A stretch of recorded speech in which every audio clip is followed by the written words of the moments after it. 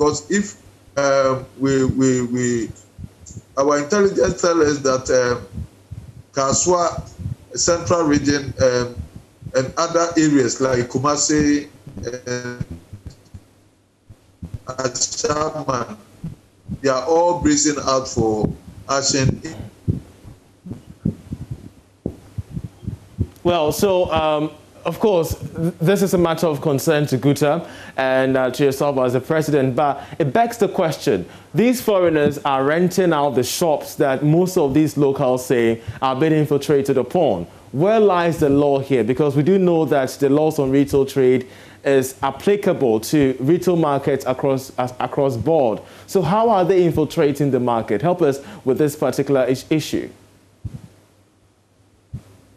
Yeah, now um, the law is so clear, and then they've come to realization that um, they have to quit the market areas. They are still insisting that because probably they got a false hope from the visitation of their uh, Speaker of Parliament that maybe because the promised of the friendship and all that and that's what they are holding on to stay. Otherwise, by now they know that they don't have any. We on our efforts to um, let government know that um, they, he has to continue um, the exercise.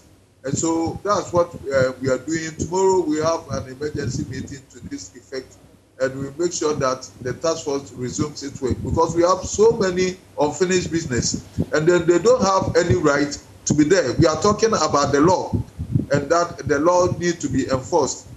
The laws on uh, ECOWAS protocol is so clear, and they, they now understand what they can do when they sell their own the goods that are made in their home country. Right. They have every right to, to be doing the business. So we are talking about the law, the legitimacy or otherwise of them um, continue their business is long over, uh, overdue. Great. Uh, President of Guta, we're so grateful, Dr. Joseph Obeng. We shall keep an eye on that particular emergency meeting that you will be holding tomorrow to give uh, uh, our viewers and listeners updates as and when. He's been speaking on the recent brewing retail tree, feud at Kasoa, where indigents say that foreigners are taking over their shops.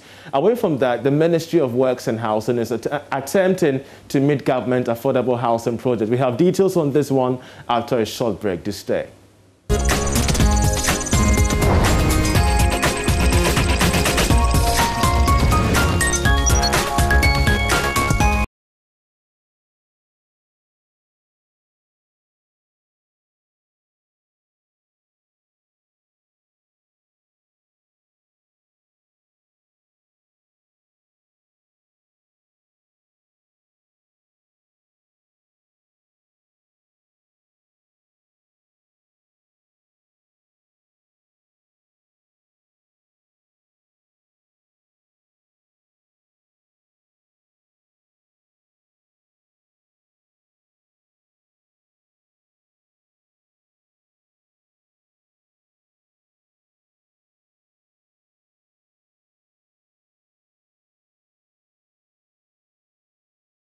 And welcome back to the marketplace. We shall bring you that earlier story we, we previewed for you in the subsequent bulletins. But in today's edition of Money Lab, the CEO of First Finance Company, Gloria Akoto, talks about specialty funds and investment.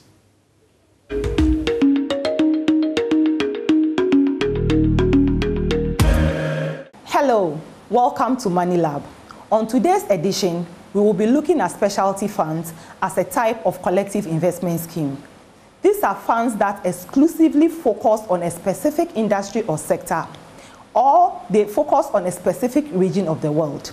An example of a specialty fund can be a fund that focuses on the energy sector or the agri sector.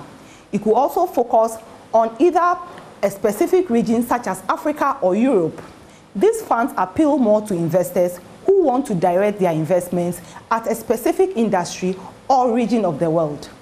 Join us on our next episode as we look at index fund and conclude our discussion on collective investment schemes.